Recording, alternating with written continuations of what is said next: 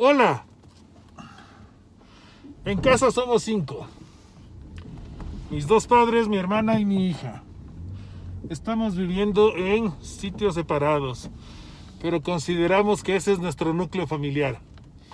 De los cinco, tres estamos, están en las edades de riesgo por eh, desarrollar patologías fuertes por el tema coronavirus. Quedamos dos y entre los dos nos turnamos una vez por semana para salir a hacer las compras que se necesita para los cinco miembros e irlas a dejar. No son sencillas las medidas que el gobierno, que el alcalde aquí en Quito han tomado. Para nada. No es fácil paralizar las ciudades.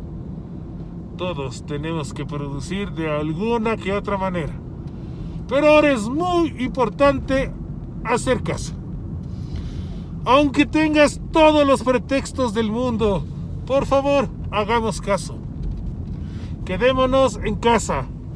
Y si es que hemos de salir por alimentación, por farmacia, que es mi caso, hagámoslo, pero no dos veces a la semana, una vez por semana.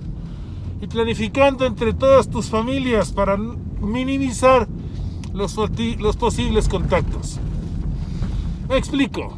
Imagínate que uno de los miembros de mi familia o de la tuya caigan eh, víctimas del COVID. Nos gustaría tener una cama, ¿verdad? Para poder ser atendida en el sistema de salud. Y no hay. Imagínate que no hay porque está colapsado.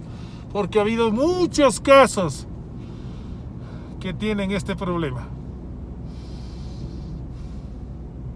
Fatal, ¿verdad?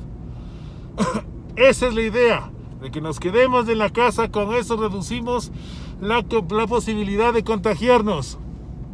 Y si reducimos la posibilidad de contagiarnos, le damos aire, le damos respiro al sistema de salud del Ecuador para que empiece a tratar, ¿no es cierto?, a las personas que ya lastimosamente se han contagiado. Mucho ánimo, mucho ánimo Ecuador. Los momentos que vivimos no son sencillos, pero es ahora más que nunca que debemos arrimar todos el hombro para salir adelante y frenar esta expansión del COVID. Un abrazo muy grande desde Ciencia en la vida cotidiana.